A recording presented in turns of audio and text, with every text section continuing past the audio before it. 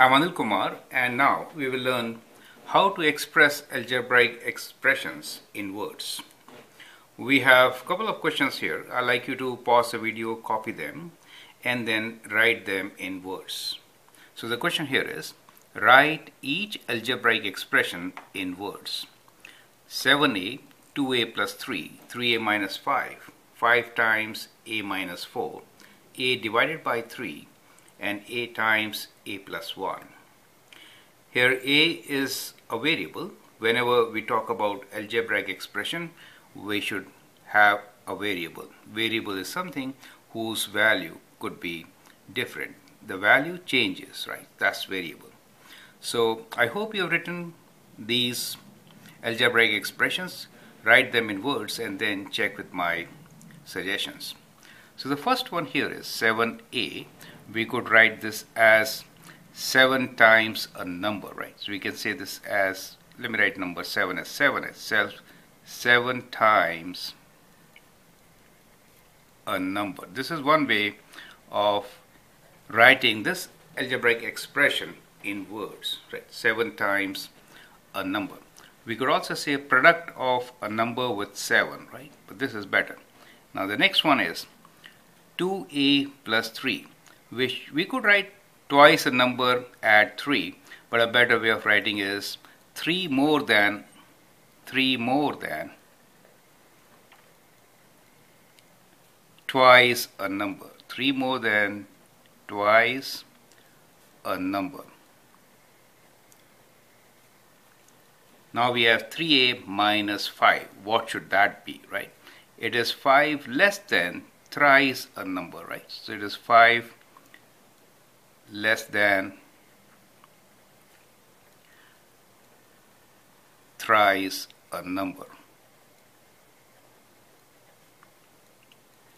5 times a minus 4.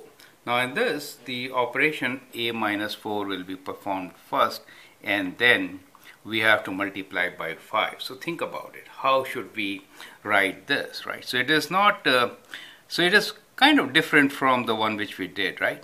So 4 less than a number times 5. Do you understand? So we'll say 4 less than a number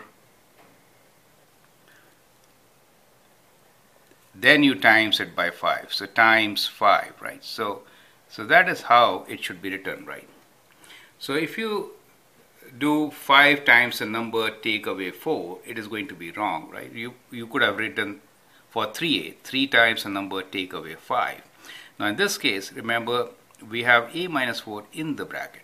So 4 less than a number times 5 do you understand? So that is critical to understand. A divided by 3 so we could say a divided by 3 so you could say a a number divided by divided by 3 so that is literal translation. You could say one third of a number. You could also say one third right? One third of a number. You could also use the word quotient. So quotient of number and 3 so you are dividing a number by 3 now the last one is for you to do. Think about. We have now the variable is just 1, a and a plus 1. So how should I write? So I could say 1 more than a number times itself or 1 more than the number times the number itself.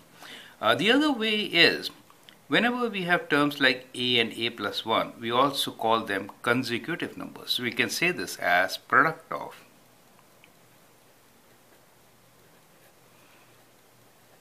two consecutive numbers. So it's important to understand the term consecutive, right? So the consecutive numbers are numbers which come after one another. For example, if I write 21 and 22, these are consecutive numbers, right? Let's say 40 and 41, they are consecutive numbers. So you'll find that the difference between the two is just by 1. So if one number is, let us say n, the other one is n plus 1. You get the idea, right? So if I say n is 40, then n plus 1 will give me the next consecutive number, which is 41. So that is how we could see it.